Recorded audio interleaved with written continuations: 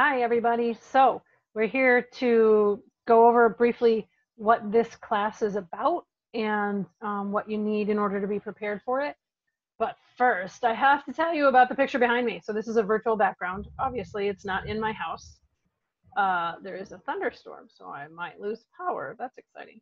Um, this picture behind me is a picture of Baby Yoda. I'm a total nerd, so my daughter has to come check it out. It's pretty cool. Mm-hmm. I'm a total nerd, so I really like um, pretty much all things nerdy, including games and sci-fi, fantasy, all that stuff. Um, but this caught my attention. Stop. Sorry. This caught my attention because it was actually in a chemistry journal. So this is how chemists communicate discoveries. And um, this particular little guy was made with something called rhodopsin B, which is where the, the sort of orange color comes from. And it was printed using a 3D printer. Um, just happens my husband has one similar to this. So I think I need to find some rhodopsin and make a glow in the dark baby Yoda. Anyway, so rhodopsin is interesting in terms of the chemistry that happens there. Um, this was done by a chemist who studies the kind of big structures um, molecules can form. And that's actually exactly what chapter 13 is about. Um, these, these intermolecular forces, or IMF as they're called, are pretty cool because it turns out that um, they hold most of our universe together. I don't know why the camera's not focusing on me. I guess Baby Yoda is just really fascinating. Um, I'm going to share my screen. So what we have here, um, that you'll find this in your notes packet, which I highly recommend that you use as you go through the videos, because as it turns out, the human brain doesn't process purely digital information very well. So the best strategy when you're watching my videos is to have your note packet and be taking some notes. You also want to have like a highlighter handy so you can maybe circle the questions that you have to ask um, during our live session. So as I was saying, um, the guy who made the baby Yoda is actually studying how different molecules interact with each other and how you can make them assemble into really big structures. This is a really, really important area of research, but in order to understand how it works, um, by the way, the reason it's important is because a lot of our medicines that um, are going to be sort of coming out in the next few decades are going to be based on these premises that you can trap a little molecule of medicine inside of a cage and that the cage will open up at the site in the body that needs the medication. So you can avoid a lot of um, side effects this way. Um, say if you're taking uh, a blood pressure medication, maybe you don't have to deal with some of the some of the side effects in the tummy or the sleepiness or anything like that.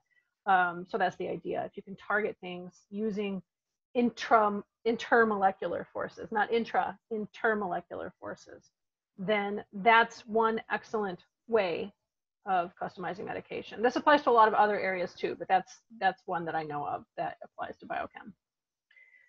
So at any rate, we have um, three different molecules here, and this is kind of a quick review from 141. You should be able to to kind of predict based on these models what um, kind of polarity each molecule has. And remember that polarity is not based on the bonds, right? So we had two different kind of polarities that we talked about in Gen Chem. One, we had bond polarity. So like, for example, if you're just looking between the carbon here and the oxygen, you would say that that bond is polar because those two atoms are very different in their electronegativity values. And you would be right about that.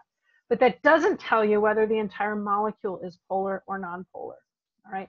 The way to tell that is to think about the shape of the molecule. So I've given you kind of the shapes here by showing you the models, but even if I gave you a chemical formula, so if I wrote um, C2H6, oh sorry, C3, there's three carbons, H6O, you need to be able to come up with a Lewis dot structure and then a VSEPR shape that will give you the polarity of, of the whole molecule. All right.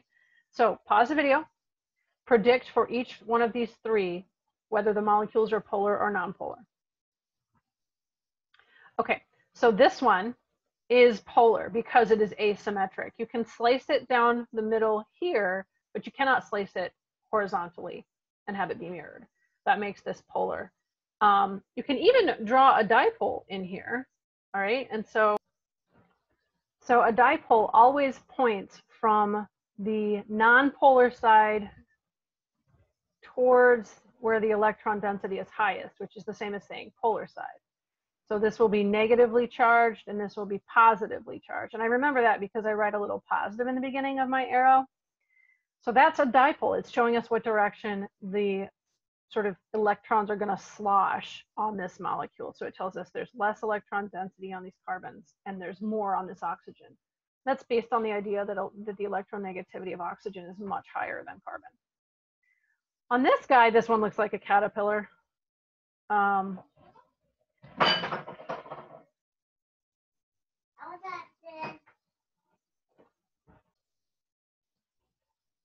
so this one that looks like a caterpillar is made out of just carbons and hydrogens. We cleverly call them hydrocarbons.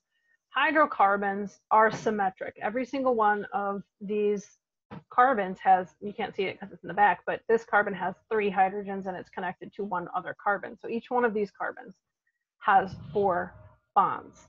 That makes them tetrahedral, which makes it symmetric.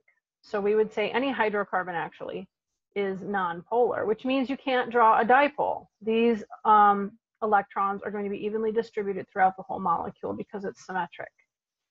This, of course, I hope you know, is water right? And so water has hydrogen and oxygen, which have vastly different electronegativities, which means the bond is polar. Um, if you drew your Lewis dot structure like this, which is a valid structure, you might predict that this would be symmetric because it looks like it in two dimensions, but it's not because it's tetrahedral. You got four domains, two bonding, two non-bonding. So that leads us to a tetrahedral electron geometry, but because we have two non-bonding domains, we would have um, a bent molecular geometry. So the molecular geometry gives us whether it's polar or nonpolar. So this will be polar and its dipole goes up through the top of it as well. Now it doesn't matter if I wrote, if I drew the oxygen um, this way, like I have in this model, or if I drew the oxygen this way, the dipole still points through from the hydrogens toward the oxygen. Okay, so how does this relate to intermolecular forces and how different molecules assemble? Well, I'm glad you asked that, thanks. It relates to it if we think about two different scenarios. So I'm showing you, um, I'm showing you the same molecule here and here, and it's surrounded by water, all right? And so there's basically two proposals here either the water orients itself in this sort of linear arrangement like this, where all the dipoles point in the same direction. Or perhaps the water arranges, this is option two, arranges itself so that the dipoles aren't so organized. Right? So they're all gonna go like that. They kind of go in random directions. Pause the video, and write down, commit to one, make a hypothesis. Which one do you think it is? Do you have an idea? Okay. The answer is that it's number two. Even though number two looks less organized, the fact of the matter is it's actually more organized than the first one. So here, our dipole in our solute, right? That's the thing that's dissolved in the water. Our solute dipole goes up and down for both of these. Now, if, if I'm going to draw the positive side um, of our molecule a little bit blue, that's classically, that means positive um, when we make maps of where electrons are at.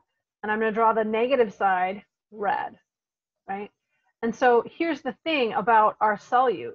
The water is going to interact with it in such a way that the negative side, so negative is red, the negative side is going to interact with the positive side of the solvent, right?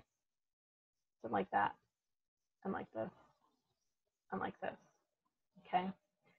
So while the waters seem randomly placed, in reality they're not. They're orienting so that the negative side of one molecule is near the positive side of an adjacent molecule.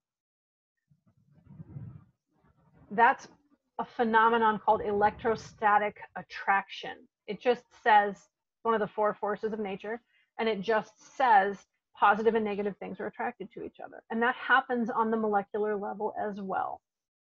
As it turns out, that has a fundamentally important meaning for us because it is the reason some things are gases, some things are liquids, and some things are solids. Um, it's the reason salt mixes with water. Okay, so it drives a lot of the physical behaviors that we observe.